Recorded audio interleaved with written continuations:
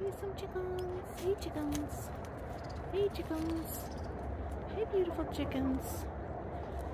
Beautiful chickens that I'm taking care of. And there's a dookie. I'm taking care of seven chickens, two dogs, and one cat. And it's been fun. It's been very fun.